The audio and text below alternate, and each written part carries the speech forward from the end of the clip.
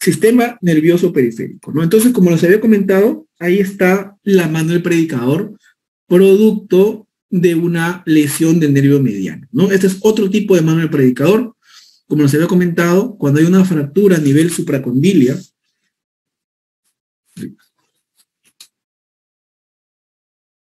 voy a ponerlo acá, a nivel supracondilia del húmero, ¿ya? O sea, encima de los cóndilos humerales, hay lesión del nervio mediano, De manera motora.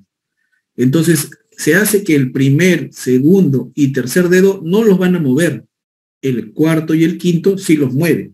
Al no tener los dedos, no tener movilización del primer, segundo y tercer dedo, se quedan en extensión y se llama la mano del predicador, ¿no? También le llaman mano del simio, algunos la mano simiana también le llaman, ¿ya?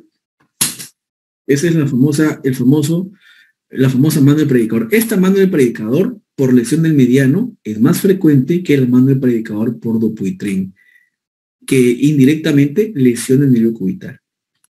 En cambio, cuando hay una lesión del nervio cubital, ya, de por sí, de manera motora, ya, hace la mano en garra. La mano en garra, ya, vamos a poder mover al revés que lo, al revés que el predicador. Muevo el 1, el 2 y el 3, pero el cuarto y el quinto no lo muevo. ¿Ya? No lo muevo. ¿Ya? La famosa mano en garra. La mano péndulo, ¿esto cuándo pasa la mano en garra? Cuando tengo una lesión a nivel del canal epitrócleo o lo craniano, a nivel del codo también, a nivel del codo. ¿Ya? Luego, por otro lado, tenemos la mano péndula o la mano en gota, ¿ya? Que es por lesión de nervio radial. La lesión nervio radial se va a dar muchas veces por una fractura de la diáfisis humeral. De la diáfisis humeral. Se fractura el húmero a nivel del tercio medio o a nivel de la unión del tercio medio con el tercio distal. Y si es que el paciente con fractura de húmero deficiario, tercio distal, viene con la mano así caída o no puede extender el primer dedo, ya tenemos un signo indirecto de que hay una lesión del nervio radial, llamado mano en gota o mano péndulo. ¿Está bien? Entonces, toda lesión del sistema nervioso periférico se va a tener que corroborar con una electro,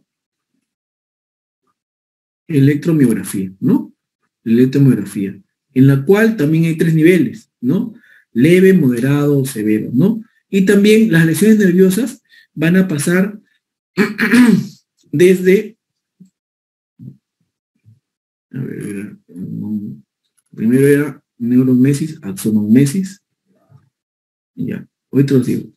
Y también tenemos, ese es en cuanto a mano, en cuanto a mano, ¿ya? Y en cuanto a pie, vamos a tener también lesiones nerviosas, ¿ya?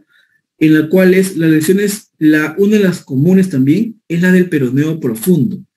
La lesión del peroneo profundo se va a dar básicamente un adormecimiento a nivel de en la interdigital del primero, ¿no? Entre el primero y el segundo, entre el primero y el segundo. Es el famoso túnel del tarso anterior, así se llama, ¿no?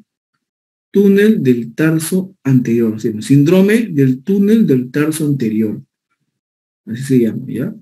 Entonces, el síndrome del túnel del tarso anterior se va a lesionar el nervio peroneo profundo, que va a básicamente a dar una rama a nivel entre el primer y segundo dedo. El paciente siente adormecimiento a nivel del primer y segundo dedo. Luego también tenemos solamente el síndrome del túnel del tarso, así a secas, ¿ya? En el cual se va a comprimir a nivel del retináculo flexor del pie el nervio tibial posterior, ¿ya? El nervio tibial posterior va a ser comprimido, va a ser comprimido por el retináculo flexor, generando el síndrome del túnel del tarso. Así como es túnel del carpo, Igual, hay síndrome de túnel del tarso, ¿ya? Y este es el más común. Y por otro también tenemos el famoso neuroma de Morton. El neuroma de Morton es un tumor nervioso interdigital, ¿ya? Que se da entre la zona del tercer y cuarto dedo.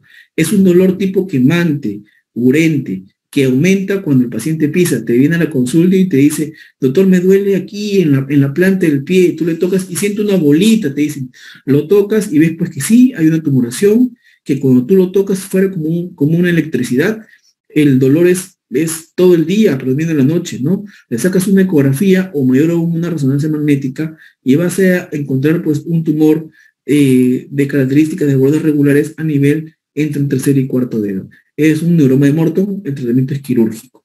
Y como le decía, cuando hay una lesión del sistema nervioso periférico, tenemos tres, tenemos tres lesiones. La neuropraxia, ¿ya? La axonomesis y las neuromesis, ¿no? Neuromesis. Esos son el, famoso daño nervioso, ¿no? Por ejemplo, cuando hay una lesión de cualquiera de estos nervios, hablamos de neuropraxia cuando hay una distensión nerviosa. Solamente una distensión nerviosa, nada más.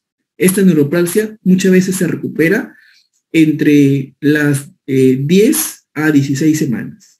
La axonomesis ya hay lesión axonal. La recuperación es más lenta, ya, mucho más lenta. Quizá hasta seis meses a veces, ¿no? De terapia física y full medio físico, ¿no? En cambio, en la neuromesis, ya aquí hay una sección nerviosa. Ya el nervio se seccionó, muchas veces por trauma, ¿no? A veces la fractura secciona el nervio, ¿no? Cuando secciona el nervio, ya lo que nos queda es una cirugía, hacer una neurorrafia, o sea, coser nervio.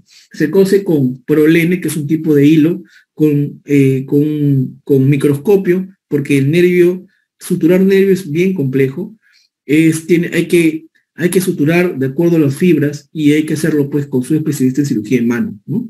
Entonces, normalmente eh, las lesiones periféricas, el 80%, si no es 85%, vienen en neuropraxia, ¿ya? La mayoría.